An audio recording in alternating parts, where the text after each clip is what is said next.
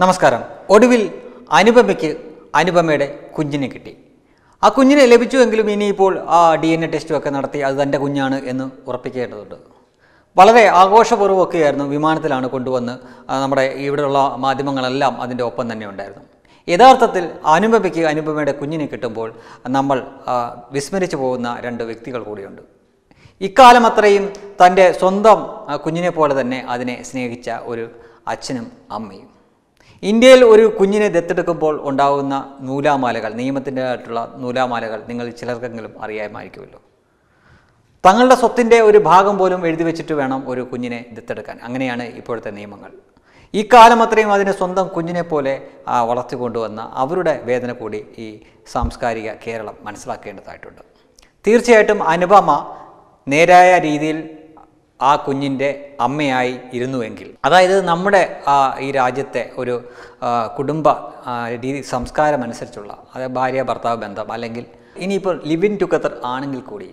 അതായത് സ്വതന്ത്രനായിട്ടുള്ള ഒരു വ്യക്തിയായിരുന്നു ഈ കുഞ്ഞിന്റെ അച്ഛനെങ്കിൽ. അതായത് ഞാൻ ഉദ്ദേശിച്ചത് മറ്റൊരാളുടെ ഭർത്താവായിരിക്കുന്ന ആളിൽ നിന്നാണ് അനുപമ ഈ കുഞ്ഞിന് ജന്മം നൽകുന്നത്.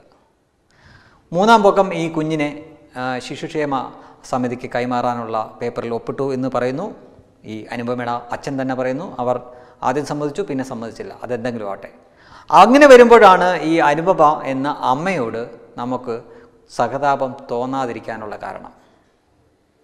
നേരായിട്ടുള്ള മാർഗത്തിലൂടെ ആയിരുന്നുവെങ്കിൽ എല്ലാ മലയാളി സമൂഹം ഒന്നടങ്കം ഈ അനുപമയുടെ ഒപ്പം തന്നെ നിൽക്കുമായിരുന്നു. പക്ഷേ എന്തുകൊണ്ടോ ഈ ഒരു കേസിൽ ഈ വളർത്തച്ഛന്റെയും വളർത്തമ്മയുടെയും കൂടെ നിൽക്കാനാണ് തോന്നുന്നത്. മനസാക്ഷിയുള്ള മലയാളികൾക്ക് അങ്ങനെ തോന്നും. കാരണം അനുപമയ്ക്ക് ഈ കുഞ്ഞിന്റെ കാര്യത്തിൽ അവകാശവാദം ഉന്നയിക്കാൻ ഒരുപാട് സമയം ഇതിനു മുമ്പ് തന്നെ ഉണ്ടായിരുന്നു. അപ്പോൾ അനുപമ എന്തിനാണ് കാത്തിരുന്നത് എന്ന് ചോദിച്ചാൽ താൻ സ്നേഹിക്കുന്ന വ്യക്തി അയാൾക്ക് നിലവിൽ ഒരു ഭാര്യ ഉണ്ടായിരുന്നു.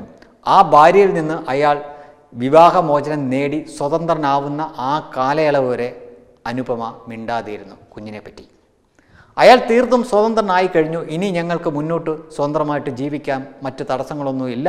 നിയമപരമായിട്ട് വിവാഹം കഴിച്ച് സ്വതന്ത്രമായിട്ട് ജീവിക്കാം എന്ന ഒരു സാഹചര്യം എത്തിയപ്പോൾ അനുപമയ്ക്ക് അനുപമയുടെ കുഞ്ഞിനെ ഓർമ്മ വന്നു. അവിടെയാണ് പ്രശ്നം. പ്രസവിച്ചുകൊണ്ട് മാത്രം ഒരു സ്ത്രീ അമ്മയാവില്ല. എല്ലാ അർത്ഥത്തിലും അമ്മയാവണമെങ്കിൽ ശരിക്കും അമ്മയായിട്ട് തന്നെ ഇരിക്കണം ഇവിടെ അനുപമ ആ കാര്യത്തിൽ വലിയ ഒരു പരാജയമായിരുന്നു. അവർ അവരുടെ സ്വകാര്യ അല്ലെങ്കിൽ അവരുടെ സുഖ സൗകര്യങ്ങൾ മാത്രമാണ് നോക്കിയത്. അതുകൊണ്ടാണ് തന്റെ പങ്കാളി നിലവിലുള്ള ഭാര്യയെ ഉപേക്ഷിച്ചു അല്ലെങ്കിൽ വിവാഹമോചനം അവരിൽ നിന്ന് നേടി സ്വതന്ത്രനായതിനു ശേഷം മാത്രം അവർക്ക് പൊതുസമൂഹത്തിനോട് വിളിച്ചു പറയാനും അല്ലെങ്കിൽ നിയമപരമായിട്ടുള്ള മുന്നോട്ട് പോകാനും അവർക്ക് തോന്നിയത്. അത് സ്വാർത്ഥതയാണ് സ്നേഹമല്ല. അപ്പോൾ അവർക്ക് ആ കുഞ്ഞിനെ വേണമെന്ന് തോന്നി. അവിടെയാണ് നമ്മൾ ആ ആന്ധ്ര ദമ്പതികളുടെ മനസ്സറിയേണ്ടത്. അവരുടെ മനസ്സിന്റെ വിങ്ങൽ വേദനയൊക്കെ അറിയേണ്ടത്. യഥാർത്ഥത്തിൽ മനസ്സാക്ഷിയുള്ളവരാണെങ്കിൽ അവരുടെ ഒപ്പം നിൽക്കുകയാണ് ചെയ്യേണ്ടത്.